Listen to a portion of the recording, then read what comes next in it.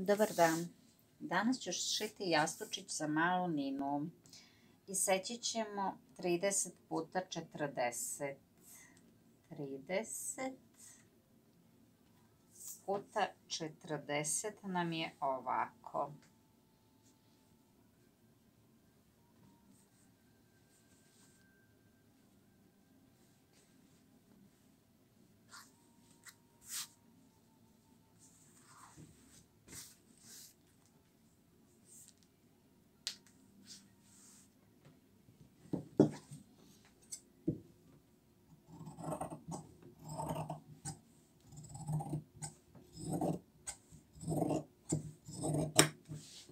Sada ćemo isto kao i kod jorgana proštepati i napraviti kao džak. Proštepat ćemo dve strane, treća nam je zatvorena, a ovo ostavljamo da u nju ubacimo kofin.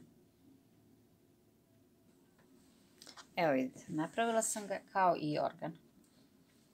Vreću koju ću sada da napunim kofinom ili silikonsko punjanje, kako već ko zove.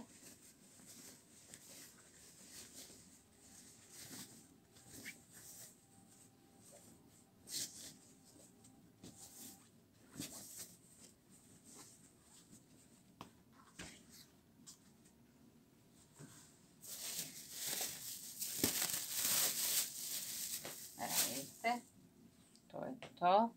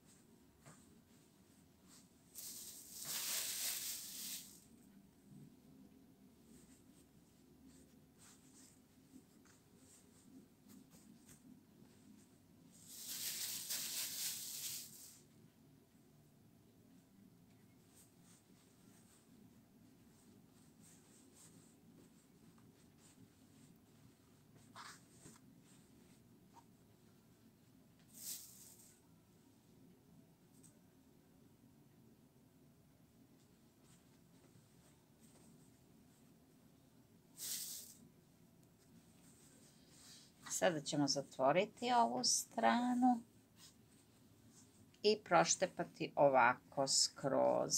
Sad ćete vidjeti.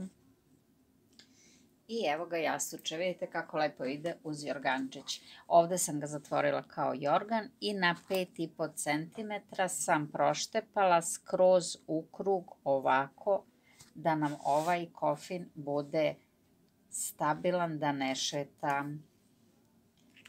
Idemo dalje sa opremanjem male Nine. To bi bilo to. Pozdrav!